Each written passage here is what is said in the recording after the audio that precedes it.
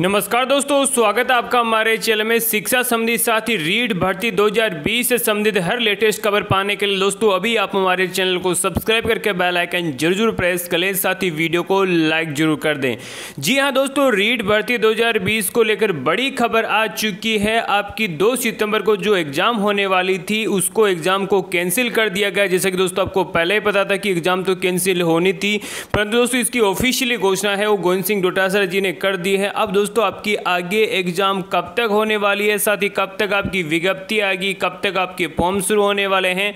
साथ ही level one को लेकर दोस्तों, क्या खबर आ रही है? दोस्तों, सभी बड़ी अपडेट इस वीडियो में देखेंगे। तो इस वीडियो के अंत तक आप बने रहिए। साथ ही वीडियो को आप शेयर ज़रूर कीजिएगा। तो दोस्तों, अटकी शिक्षक भर्ती प्रक्रिया। जी हाँ दोस्तों, लंबे समय से लगभग है। वो आठ से नौ महीने बीत चुके हैं। अब सभी अभ्यर्थियों को यही इंतज़ार था कि एटलीस्ट आपकी है, अगस्त में भर्ती आ जाएगी। साथ ही आपका एग्ज़ाम इसी साल होने वाला है। परंतु दोस्तों, जो सरकार वो अपना गेम में ही बिज़ी है, यानी सरकार अपनी जो भी सरकार है, उसको बचाने में लगी है और रीड भर्ती के जो अभ्यर्थी इंतज़ार कर रहे हैं, उनको गुमराह कर रही है। नए पैतरे खेल रही है। सरकार का कहना है कि बीजेपी की वजह से, यानी बीजेपी सरकार गिरा रही है, साथ ही कोरोना की वजह से वो एग्ज़ाम है, वो टाइम पर नहीं करवा रहे, पा रहे। परंतु दोस्तों, एक चीज़ तो सरकार की तरफ़ से ये क्लियर की जानी चाहिए कि विज्ञप्ति किस दिन आएगी? एग्ज़ाम डेट बाद की बात है। अभी सरकार एग्ज़ाम डेट पे टिकी हुई है, कभी भी गोविंद सिंह डोटासरा जी ये नहीं बताते हैं कि विज्ञप्ति किस दिन आएगी। अगर विज्ञप्ति आपकी समय पर आ जाती है, एग्ज़ाम दो तीन महीने लेट भी होती है तो उसे सारी चीज़ें क्लियर हो जाएगी कि आपका सिलेबस क्या रहेगा, एग्ज़ाम का पैटर्न क्या रहेगा।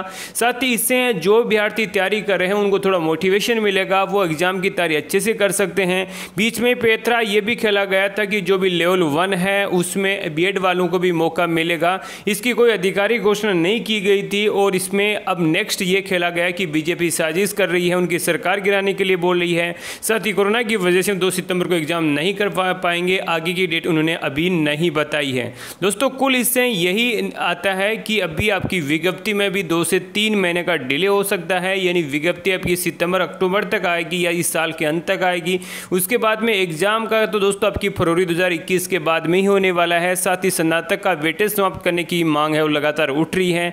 और दोस्तों सरकार से ये हमारी लगातार मांग रहती है बहुत सारे अभ्यर्थी ये ट्वीट कर रहे थे कि लेवल वन पर उनका हक है या उनका हक है।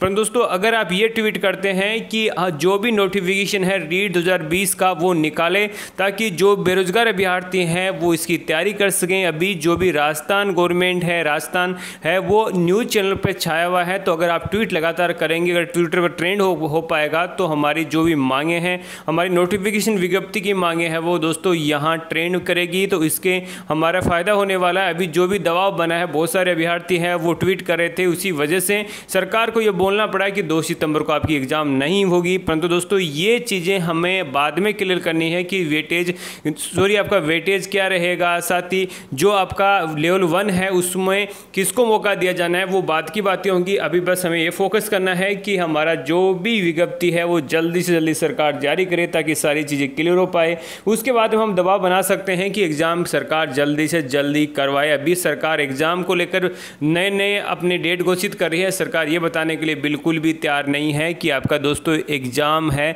सॉरी, आपकी विज्ञप्ति है वो कब तक आने वाली है? तो सरकार की तरफ़ से नए नए पैतरे हैं वो खेले जा रहे हैं। साथ ही यही सरकार जो है वो अपनी होटलों में सरकार चलाने में बिज़ी है। सरकार का जो टैक्स का पैसा है, अपनी जनता का वो उड़ाने में लगी है। जो अभ्यार्थी हैं उनको लॉलीपॉप देने में लगी है। तो हमें सतर्क होने की ज़रूरत है। अगर अभी तक हम एकजुट नहीं होंगे तो हमारे जो भी भविष्य वो खतरे में पड़ सकता है। कि तीस हज़ार की जो भर्ती है, वो अगले तीन साल, साढ़े तीन साल तक भी पूरी नहीं होगी। दूसरी सरकार आ जाएगी, तब तक आपको ज्वाइनिंग नहीं मिलेगी।